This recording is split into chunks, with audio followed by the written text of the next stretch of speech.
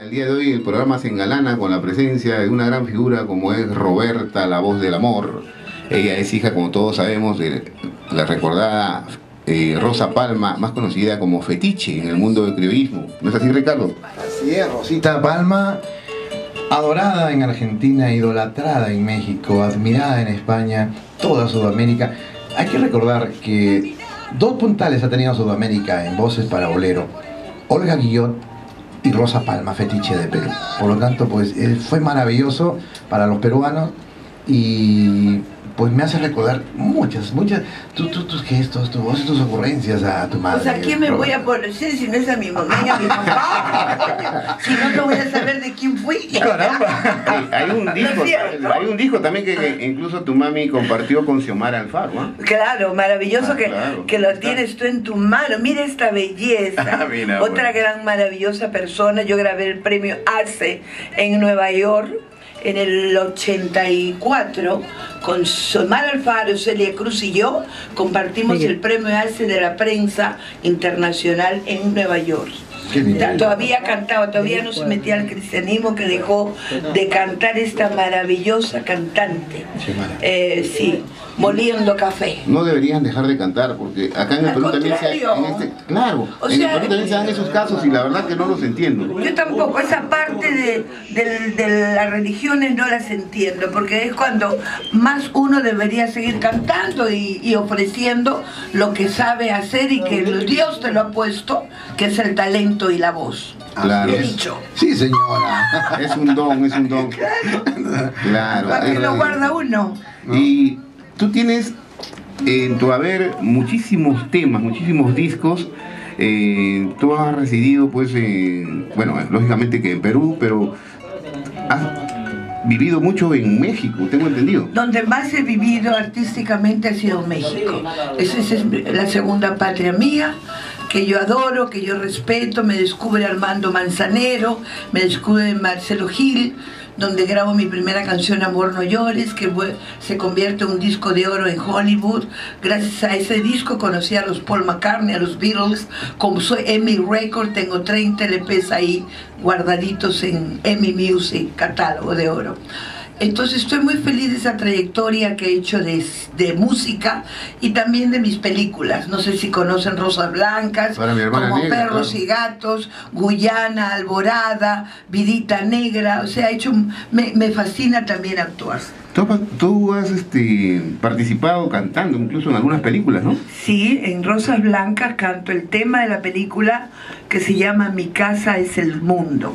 Es un bonito tema que me encantaría que toda la gente joven que te escucha lo volviera a analizar. A mis sobrinos les fascina, que son muy jóvenes, muy temperamentales. Son temas realmente con un poco de protesta, pero son funcionales para toda la vida. Los temas cuando son buenos son eternos. Es depende cómo uno los, los se los monte y cómo los lleve a los nuevos mercados. Perdón, ahí Roberta participaste en esta película para comentarle, contarle a los amigos, con la máxima figura del tango, doña Libertad Lamarque. Cuéntanos algo brevemente de lo que bueno, una maravillosa experiencia, fue la primera película mía yo realmente ahí estaba totalmente virgen, en el sentido de cine.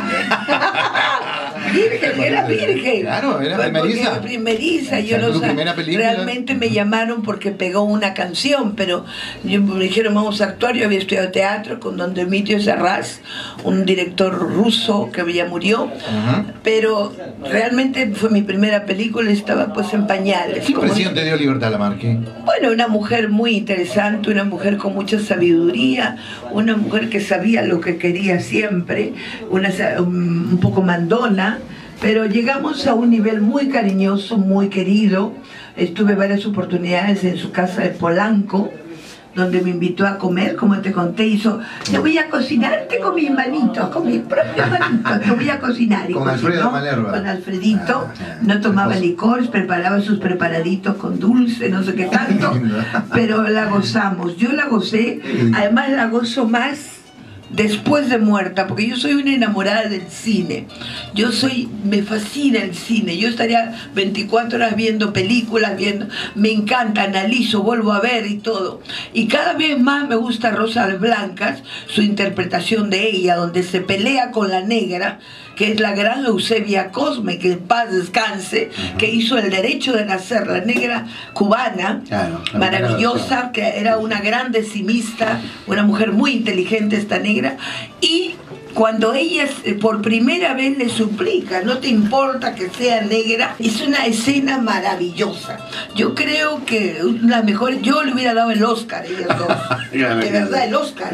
porque es estupendo. Cuando viene la negra le dice, ahora no te importa que sea negra. Y allí estaba nuestra Roberta, de Perú. Ahí estaba, empezando niña. Y esa película se ha vuelto una clásica del cine. Sí, tengo dos clásicas. Tengo Vidita Negra también, con un gran actor actor maravilloso que me costó entrar, gracias a mi mamá entré, porque mi mamá era muy coquetona. Era lo que, ¿me entiendes? Lo que tú comentas. Mi mamá entraba a un lugar y convencía con su simpatía, con, su, con el bla, bla, bla. Entonces terminó con el productor de Amiga el productor al final le dijo a Garcés, si esta negra no va, no tienes la plata y no hago película. y mamá, déjame que te cuenten y me dijo, al final me llevó a, después de terminar la película, Garcés dijo que no había mejor actriz que yo y Silvia Pinal. Imagínate cómo crecí. Es una grande allá en México. Una, gran, una grandota.